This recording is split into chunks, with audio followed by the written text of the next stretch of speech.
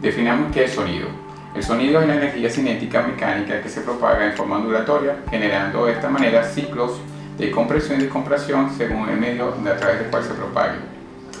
Dentro del sonido vamos a definir entonces qué es longitud de onda. Una longitud de onda está formada por un ciclo donde hay una compresión y una descompresión posterior y esto se mide en frecuencia.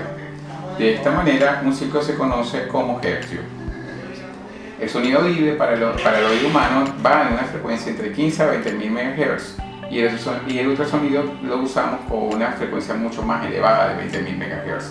En ginecología, que es el tema del cual nos vamos a ocupar de hoy, vamos a usar frecuencias que van entre 3.5 a 7 MHz. Cuando una onda choca contra una superficie se describen tres haces, uno de incidencia, uno de reflexión y uno de refracción. Una proporción de haz es absorbida a través del tejido y otra es reflejada, lo cual depende de la impedancia acústica.